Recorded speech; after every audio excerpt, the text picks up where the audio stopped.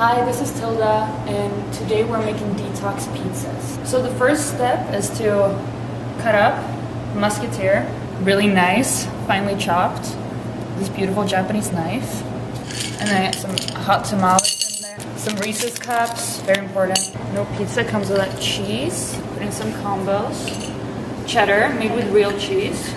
And then you take your Slim Jim, so you can stir it up a bit. It's a very important part of the process. And now we're gonna cook it for 30 minutes. So after 30 minutes, you take all the ingredients and then you just sort of slap it on the Pop Tart like that. And then you can, you know, add some more hot tamales if you want it extra spicy. And there you go, that's your detox pizza.